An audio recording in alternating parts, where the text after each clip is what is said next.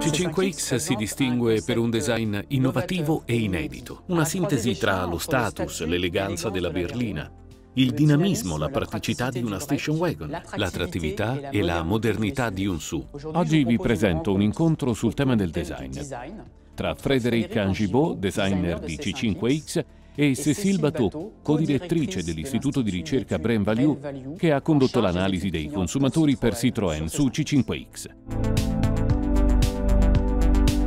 C5X è veramente la sintesi del meglio dei tre universi. Da un lato la berlina, il SUV e la station wagon. È una vettura che ho immaginato con volumi attraenti, ampi, molto generosi, ma nello stesso tempo per dare modernità con forme molto definite, decise, che conferiscono precisione, cura e tecnicità un aspetto sofisticato alla vettura. Sì, in effetti le persone che abbiamo intervistato hanno riscontrato una grande modernità. Hanno proprio descritto C5X come un oggetto all'avanguardia e allo stesso tempo non si tratta di un'innovazione, di una modernità che disorienta. Non si tratta di qualcosa che va troppo lontano. Ci hanno parlato di una modernità equilibrata e nel complesso questa vettura è stata descritta dai clienti che abbiamo incontrato come un punto di equilibrio tra modernità e nello stesso tempo tra elementi che conosciamo elementi familiari, tratti distintivi Citroën, elementi che caratterizzano l'identità Citroën, come l'eleganza, la capacità di distinguersi, ma allo stesso tempo senza esagerare, senza arroganza. C'è una sorta di equilibrio, infatti, raggiunto nel design esterno.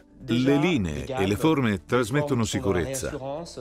È attraente, ha volumi generosi, pieni, ha una linea fluida, slanciata con un abitacolo molto voluminoso, molto lungo, con uno spoiler molto allungato che garantisce ombra nel posteriore, che conferisce una sensazione di velocità anche se la vettura è ferma. Dunque, in questo caso siamo davvero nell'universo della berlina. Poi quando si considera la posizione e l'assetto della vettura si vede che è molto rialzata, con il sottoscocca nero. Siamo nel mondo dei SUV.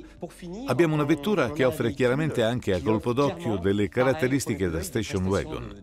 Basta guardare il posteriore. La soglia di carico è molto bassa ed è molto ampia, per una funzionalità assolutamente fuori dal comune.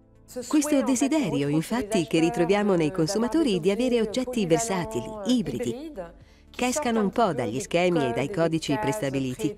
È una cosa che riscontriamo in molti altri studi che abbiamo fatto in numerosi altri settori. C'è un profondo interesse verso ciò che unisce differenti universi. L'incontro tra il mondo del lusso e il mondo dello streetwear, in questo momento, per esempio. Nel settore della moda c'è la tendenza a creare oggetti gender fluid o senza genere la capacità di liberarsi dai codici tradizionali della moda maschile o della moda femminile e di reinventare qualcos'altro.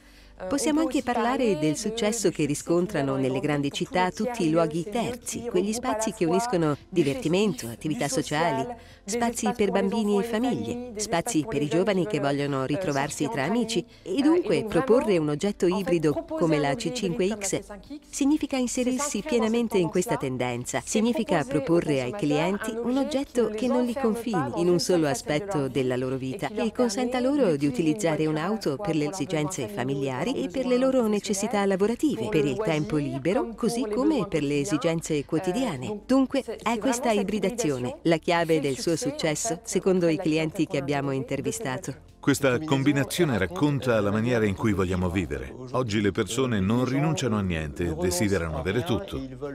In un progetto automobilistico come questo bisogna offrire qualcosa che risponda alle loro esigenze.